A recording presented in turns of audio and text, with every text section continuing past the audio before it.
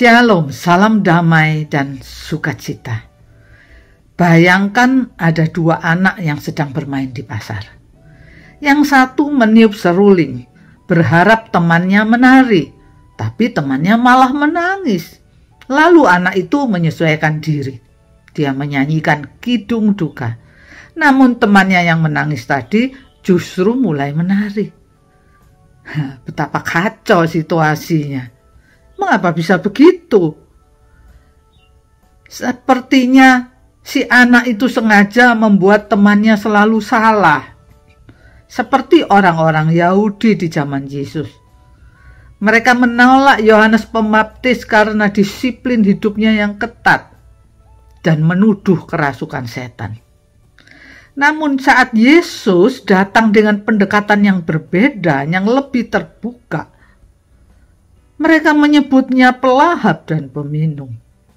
Begitulah manusia. Begitulah kita. Selalu merasa tidak, tidak puas, panas mengeluh kepanasan, hujan mengeluh jemuran tidak bisa kering. Apa pun yang dilakukan Tuhan selalu jadinya salah.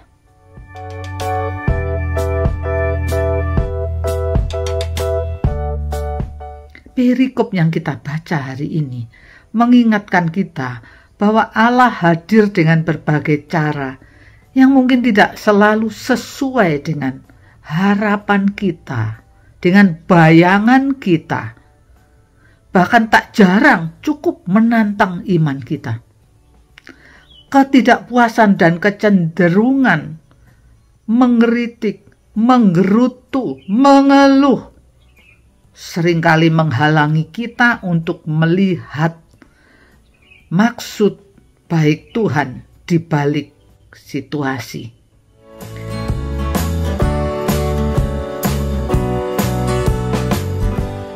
Kita diajak untuk membuka hati dan menyadari bahwa di balik segala situasi, Tuhan selalu bekerja dengan hikmatnya.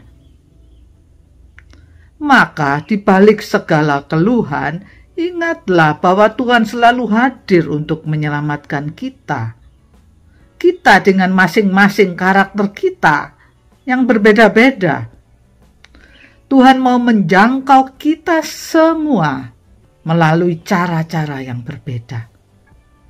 Masing-masing sesuai karakter dan kebutuhan kita.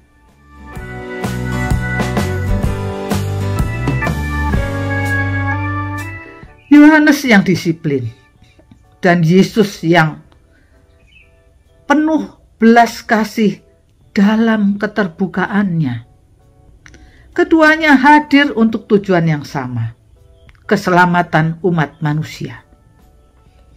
Maka, mari kita bersyukur dalam segala keadaan. Percaya bahwa cara Tuhan bekerja, meski sulit dipahami, selalu didasari oleh cintanya yang besar.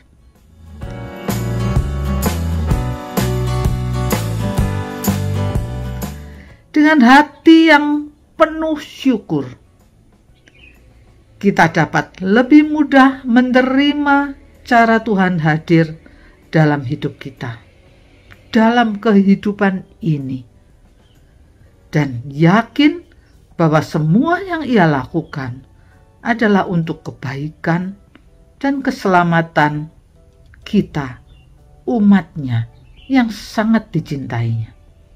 Tuhan memberkati.